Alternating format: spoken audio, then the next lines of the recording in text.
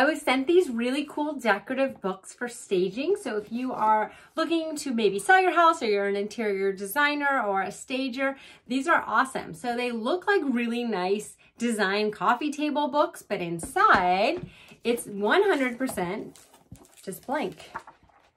So just nice and blank. Now that said, you also could use this as a journal or as a book to write things in, take notes in.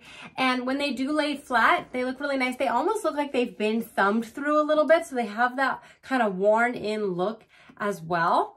And I think they're just really pretty nice nice books. And again, you can dual purpose it, so you can use it as a journal. They do have this nice little mark down there. You could scrapbook with this where you put your different photos in it. So lots of options for how you use it, but they're really nice to just set out and have.